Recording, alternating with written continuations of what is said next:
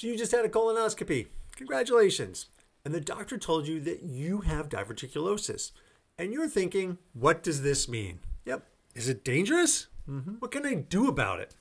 And yes. why is this called a Johnny? Uh, no.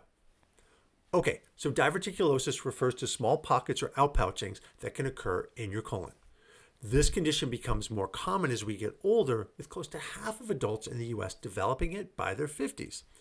It is most common here in the sigmoid colon and is thought to develop from increased pressure in the colon pushing out on the wall of the bowel. So, what does this mean? Well, for most people, it's not a big deal. It's kind of like getting gray hair. Yeah, but you don't have any hair. That's a valid point. But you get the idea. There's nothing to worry about. And it doesn't matter how many of these pockets there are or what size they are. Now, it is true that if they get infected, they cause what's called diverticulitis.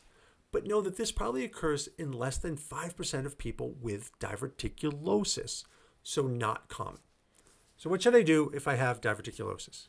Well, regular exercise and eating a diet high in fiber is always a good start it's recommended that we eat 25 to 35 grams of fiber every day. That can be a lot for many of us. So if you have trouble getting that much in your diet, it's not a bad idea to take a fiber supplement. This can help you reach your goal.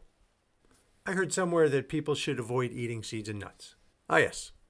That is actually outdated advice. It was once believed that seeds and nuts could get stuck in these pockets and cause problems.